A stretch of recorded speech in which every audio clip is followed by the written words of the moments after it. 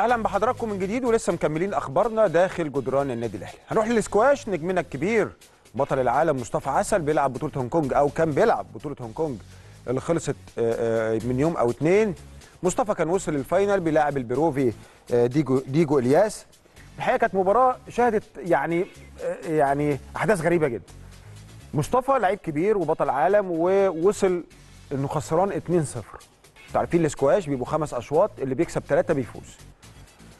فمصطفى دي صورة نجمنا البطل طبعا كان بيلاعب زي ما قلت لحضراتكم البيروفي آه، آه، دييجو إلياس آه، خسر أول شوطين والشوط الثالث وصلت النتيجة 10 8 لدييجو إلياس يعني خلاص نقطة وتنتهي المباراة 3-0 بصوا الجمال وبصوا الإصرار. يقوم مصطفى يقلب النتيجة في الشوط الثالث من 10 8 ل 12 10 يكسب. يكسب أربع نقاط متتالية وديجو ما كسبش ولا نقطة. طب هل اكتفى بكده؟ آه، آه، يعني مصطفى لا. فاز بالشوط الرابع وفاز بالخامس. يعني فاز ثالث رابع خامس. دي طبعا قفزة مصطفى عسل لأنه ما صدقش. إحنا نفسنا كلنا قلنا خلاص مصطفى خسر. ف- فالحقيقة يعني كان أداء رجولي. كان في آه، يعني إصرار كبير جدا على المكسب. و... وكان في ريمونتادا كبيرة جدا عملها مصطفى عسل. هنا مصطفى فاز بالبطولة دي. أكيد أكيد هتفرق معاه في النقاط وأكيد هتفرق معاه في التصنيف العالمي مصطفى ماشي كويس مش لازم كل بطولة بيخش يكسبها ولكن هو بيشارك في عدد بطولات كبيرة. لازم في نهاية الموسم يكون مجمع نقاط كويسة دايما تحافظ عليه في التصنيف. خلي بالكم مصطفى قبل غير مصطفى بعد. مصطفى قبل كان مصطفى صاعد ناشئ الناس لسه بتعرفه فكان فيه دافع وكان والناس بتلعبه يمكن مش مش بكل قوتها لأنه لاعب صغير. وكان طريقة لعبه كمان مختلفة كان لسه صغير.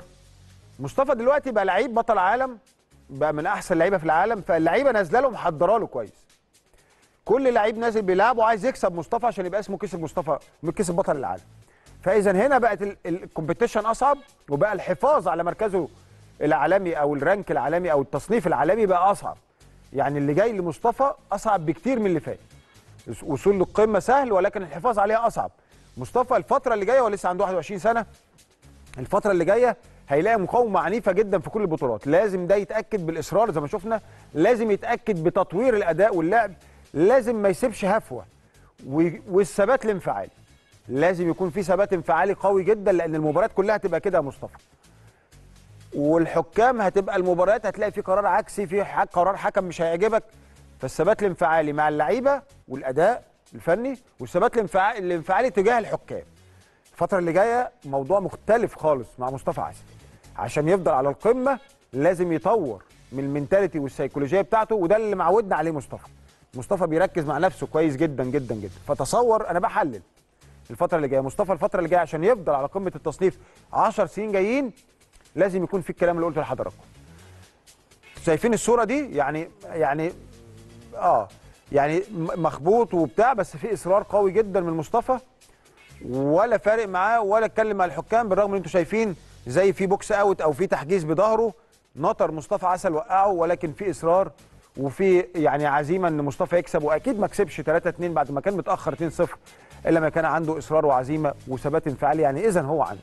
نتمنى كل التوفيق لمصطفى وكل أبطالنا وناسبه الأسبوع الجاي إن شاء الله هتنطلق بطولة النادي الأهلي ال- ال- المفتوحة. في بطولة كل نادي بيعمل بطولة.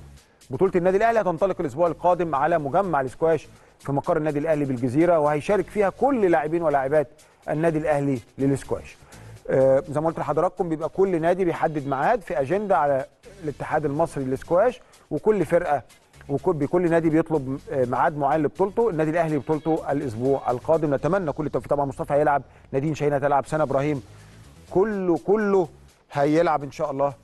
هيلعب كله إن شاء الله آه، المباريات. آه، هي انطلقت كمان ده هم بيقولوا لي كمان انطلقت. تمام. أنا بتكلم كمان الرجال آه، الرجال يمكن أنا اتكلمت عن الرجال هتنطلق الأسبوع الجاي. ولكن هم صححوا لي المعلومة بشكركم إنه انطلقت الناشئين. أنت عندك بتلعب تحت 9 تحت 11 تحت 13 تحت 15 تحت 17 فأنا كان قصدي على الرجال الأسبوع القادم. ولكن بالنسبة للناشئين والناشئات الجونيورز ابتدت خلاص يعني امبارح أو أول أو خلاص يعني قربت تخلص وهيخش على الكبار لأن هم بيختموا بالكبار أو الرجال والسيدات. كل التوفيق للنادي الأهلي في التنظيم والنتائج إن شاء الله آه، الجيدة.